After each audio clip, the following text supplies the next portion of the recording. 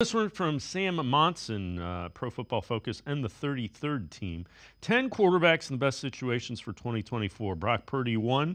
Jared Goff, 2. Jalen Hurts, 3. CJ Stroud, 4.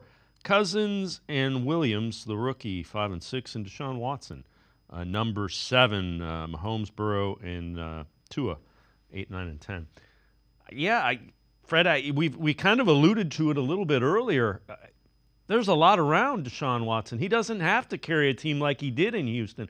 It's got to be a different feeling and a different mindset for him with all the talent that he has um, around him.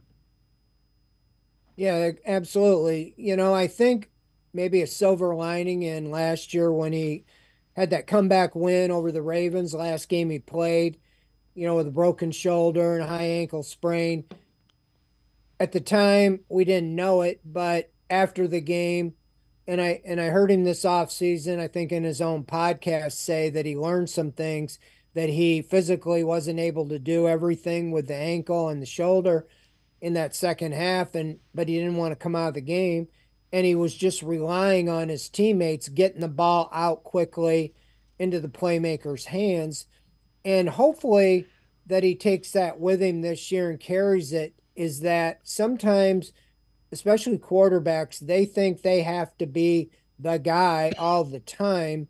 And there are times definitely that you, you need, that's why they get paid the big money.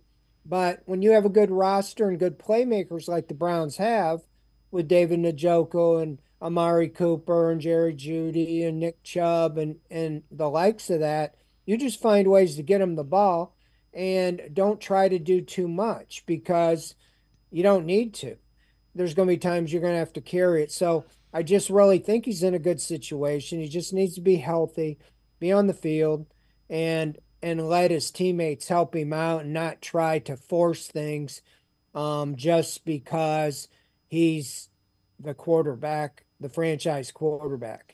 And it's not the same situation that he was in when he was four and twelve with the Texans the last year.